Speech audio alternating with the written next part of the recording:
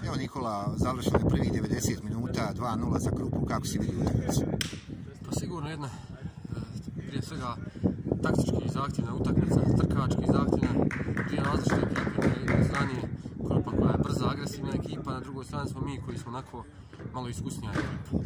Mislim da, su, da je bila jako zanimljiva utakmica, na kraju ostaje žal za propuštenim šansama, tako kod rezultata 1-0 imali smo dvije kolosalne šanse, 100% promašili smo i tako to bude, pogotovo protiv dobrih ekipa kao što je Krupa. Oni to kasnije i ovaj, ništa još nije gotovo, naravno. Slijedi revanš u Foči, vjerovatno nadate se i sportski nadate se da možete e, nadoknati Tako prednost. mi pred svojim navijačima moramo da pobjedimo svakoga, pa i Krupu, to smo radili. U jesenjem dijelu smo i pobijedili. Dva gola nije ni malo, ali nije ni puno.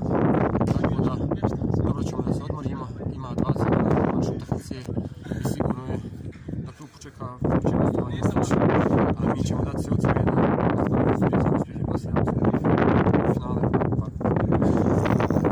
Силеві і э, Сутівські э, поперечні кімнати.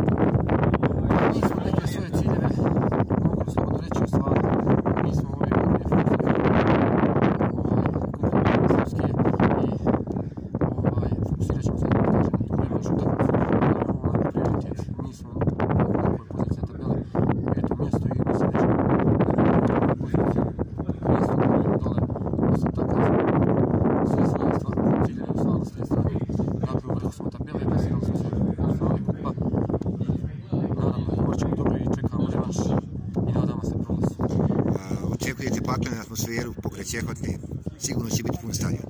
Pa tako je. E, Nikome u Foči nije lako igrati, pa Krupu.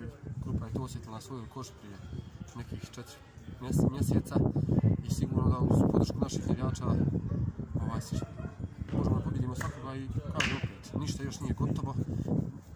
Nadamo se, kao normalno sportski se nadati, da možemo proći u finalu. Ništa, puno sreće. Hvala.